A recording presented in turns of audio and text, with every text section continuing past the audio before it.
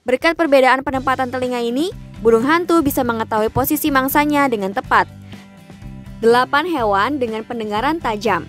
Pendengaran merupakan salah satu indera yang penting untuk berkomunikasi dan menghindari bahaya termasuk pada hewan kids.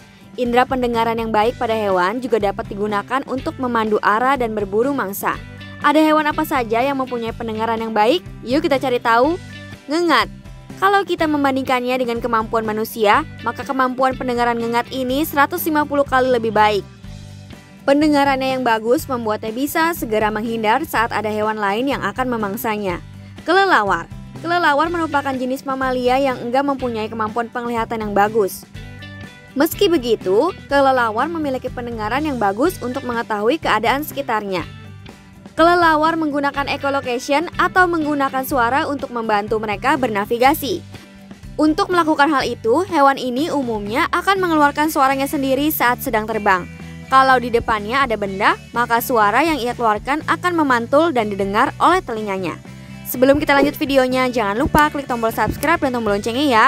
Burung hantu Burung hantu merupakan burung yang memiliki pendengaran terbaik di antara burung lainnya. Sebagian besar spesies burung hantu memiliki telinga yang bengkok. Satu ditempatkan di depan dan satu lagi lebih tinggi dari yang lain. Berkat perbedaan penempatan telinga ini, burung hantu bisa mengetahui posisi mangsanya dengan tepat. Nggak hanya pendengaran, burung hantu ternyata juga mempunyai penglihatan yang bagus dan tajam. Hal ini didukung dengan kemampuan organ kepalanya yang bisa memutar hingga 360 derajat. Gajah Telinga gajah yang ukurannya cukup besar ini bisa digunakan untuk mendengar suara yang cukup rendah.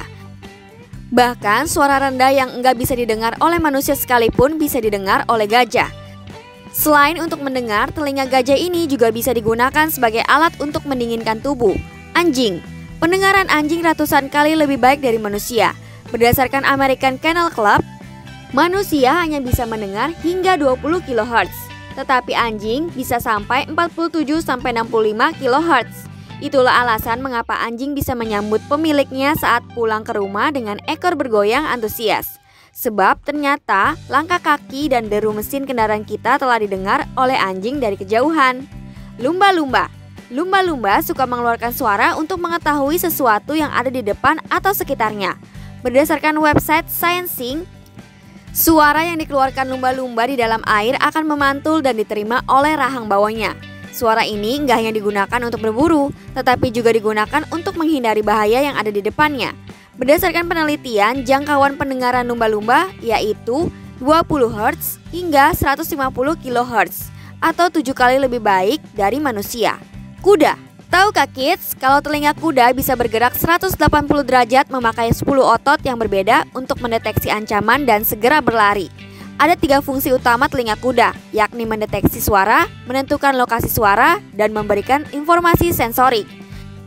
Karena terlalu sensitif, kuda bahkan bisa mendengar perintah dari pemiliknya walau diucapkan dengan volume rendah. Kucing Telinga kucing dikendalikan oleh tiga lusin otot dan bisa berputar 180 derajat. Itu sebabnya pendengaran kucing bisa sangat baik. Nah, itulah beberapa hewan dengan indera pendengaran yang baik di dunia berdasarkan beberapa sumber. Sampai di sini dulu ya videonya. Jangan lupa like, komen, subscribe, dan share ke teman-teman lainnya ya kids. Bye-bye!